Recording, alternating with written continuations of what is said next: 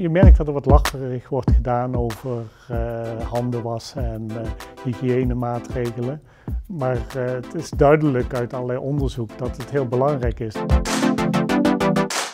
Ik kijk naar de epidemiologie van infectieziekten, dus hoe infecties worden overgedragen. Als je kijkt naar het coronavirus en hoe het verspreidt is in Nederland, een van de eerste dingen die opvalt als je kijkt naar het kaartje van het RIVM is dat er een duidelijke scheiding is tussen het aantal gevallen in het gebied Midden en Zuid die vakantie hadden gedurende de carnavalsperiode en het gebied Noord dat vakantie had de week uh, daarvoor. Die week daarvoor uh, waren er nog heel weinig infecties in de rest van Europa en hebben mensen het niet mee naar Nederland gebracht.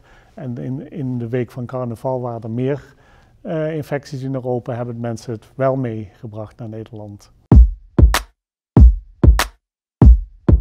Ja, een van de dingen die me erg opvalt is van hoe mensen op, omgaan met hygiënemaatregelen. Je merkt dat er wat lacherig wordt gedaan over uh, handen wassen. En uh, omdat we onderzoek doen naar hygiënemaatregelen en wat het effect uh, is.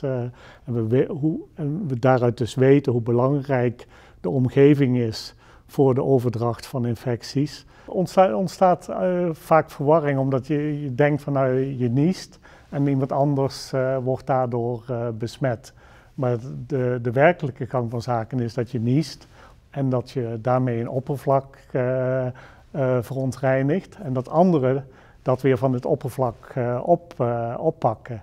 We weten dat dit virus waarschijnlijk twee of drie dagen kan overleven in de omgeving. En dat betekent dus nadat het is uitgescheiden door, door iemand, dat nog gedurende twee of drie dagen iemand geïnfecteerd kan worden. Als hier in de, in de, in de, in de zaal uh, een groep studenten zitten, niest een student op, uh, op het tafeltje en dan komt de volgende groep met een ander college wat helemaal niks ermee te maken heeft, maar die zit aan datzelfde tafeltje en die raakt dat tafeltje aan, dan kan hij die infectie oppikken. En dat kan dus gedurende diezelfde dag, maar ook de volgende dag nog gebeuren.